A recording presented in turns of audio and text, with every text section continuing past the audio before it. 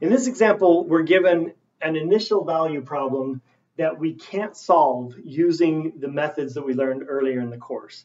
Um, and that's because of this t right there. Because we have a variable coefficient on this y prime, we're going to need to use the Laplace transform in order to solve this.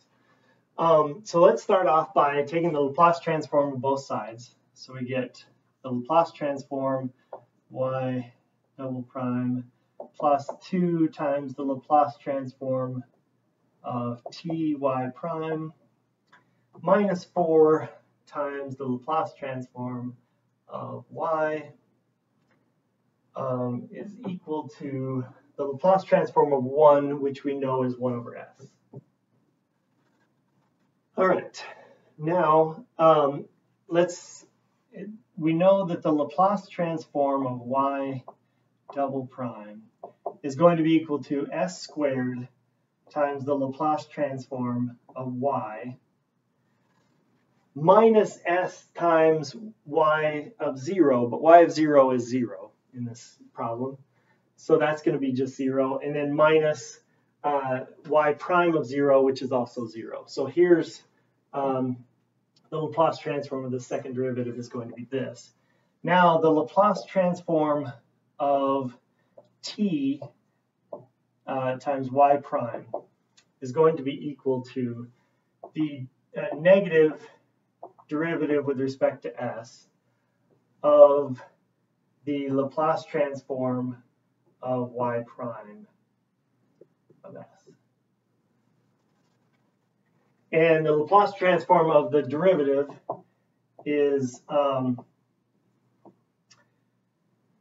um, the is s times the Laplace transform of the function minus uh, y of 0, which is 0.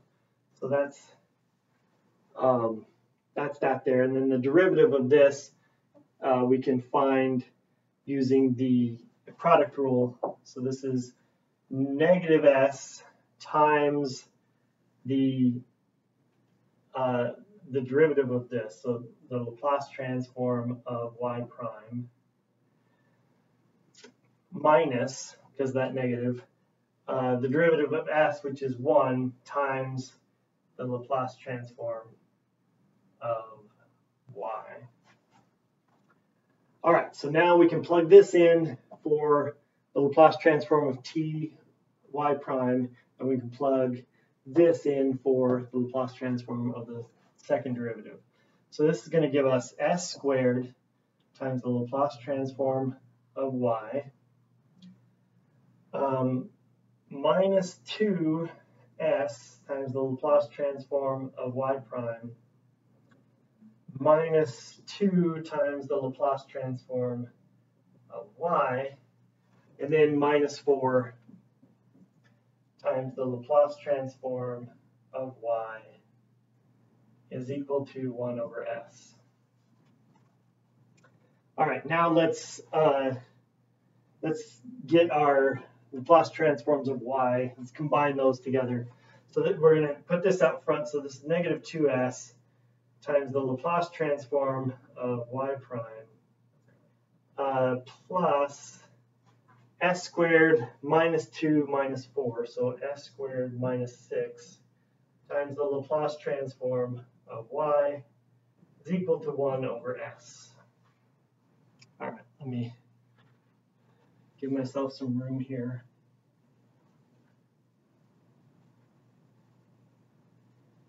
And let's um, let's go ahead and divide everything by negative 2s to get this by itself. So if we do that, we're going to get the Laplace transform of y prime plus um, this divided by negative 2s is going to be uh, 3 divided by s minus s divided by 2 times uh, the Laplace transform of y equal to, uh, dividing by 2s, we're going to get negative 1 over 2s squared.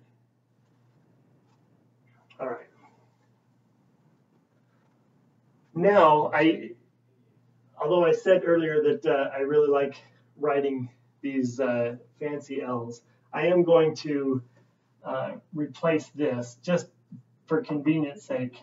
I'm going to define uh, capital F as being um, the Laplace transform of y. Uh, and I'm using F. The, the book uses capital Y, but my capital Y's look a lot like my lowercase y's. So just to be to make that distinction, I'm going to use F, capital F. Um, and uh, so now we can. This is going to be F prime plus 3 over S minus S over 2 times F is equal to negative 1 over 2S squared. And I wanted to do that because now we can see that what we've got, we've, we've done the Laplace transform, we've gotten into the S domain, but now what we've got ended up with here is a differential equation. And, but this is a differential equation that we can use, so, um, can solve using the methods that we learned earlier in the course. Specifically, we can use uh, an integrating factor on this. So our integrating factor, remember mu, is going to be equal to e to the integral of this, to the integral of uh, 3 over s minus s over 2 ds. And that's going to be equal to uh, e to the natural log of s cubed minus s squared over 4. And uh, we can write that e to the natural log of s cubed is just s cubed uh, times e to the negative s squared over 4. So there's our mu. That's our integrating factor. And so the solution to this is going to be given by multiplying this times f. So we get s cubed e to the negative s squared over 4 times f is equal to this mu times uh, negative 1 over 2s squared. So negative 1 over 2 uh, 2s squared times s cubed e to the negative s squared over 4. And now we, uh, oh, sorry. This is not, we want the, deri the derivative of this with respect to s is equal to this. And now we can uh, we can take the integral of both sides. So we're going to get s cubed e to the negative s squared over 4 times f is equal to the integral of, uh, let's see, s the s cubed divided by s squared is just going to be s. So this is negative 1 half s um, times e to the negative s squared over 4 ds. All right, now to do the integral here, um, notice that if we if we uh, uh, define some function f as e to the negative s squared over 4, then f prime would be uh, using the chain rule uh, e to the negative s squared over 4 times the derivative of this, which is going to be uh, s or negative s over 2, which is this. And so the integral of this is just going to be this. Uh, so we've got s cubed e to the negative s squared over 4 f is equal to uh, e to the negative s squared over 4 plus c. All right. Let's come back up here.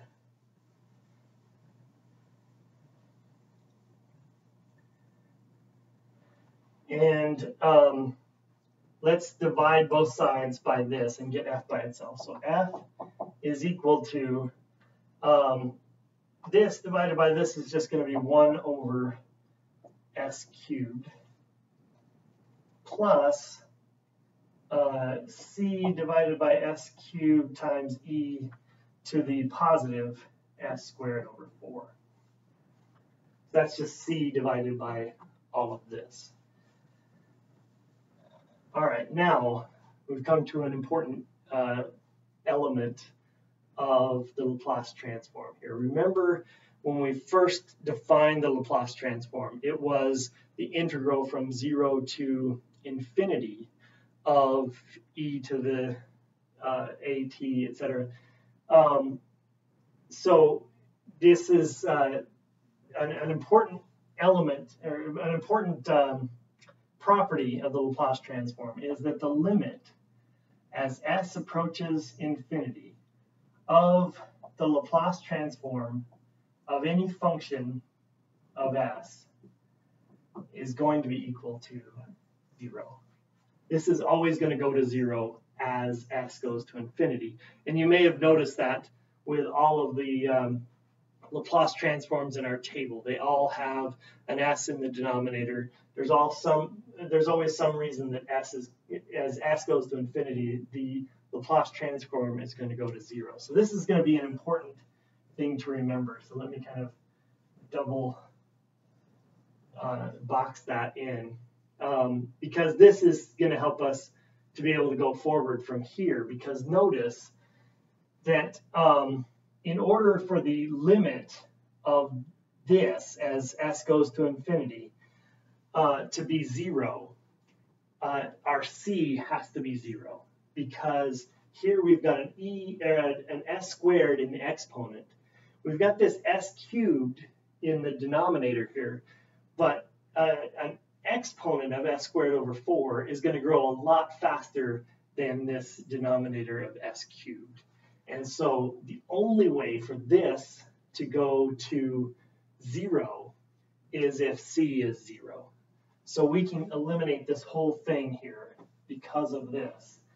And we're left with um, f, which let's now uh, go back and replace our f with the Laplace transform of y is just equal to 1 over s cubed. Which means that y is equal to, well, we can rewrite this a little bit. Uh, let's let's put a 2 over s to the 2 plus 1 um, because that's that's one of our um, our Laplace transforms in our table. Uh, but if we multiply by 2, we have to also divide by 2. So we're going to end up with 1 half times t squared. The inverse Laplace transform of this piece here is going to be t squared. So taking the inverse Laplace transform of this, we get y is equal to 1 half t squared. And that is our solution to this initial value problem.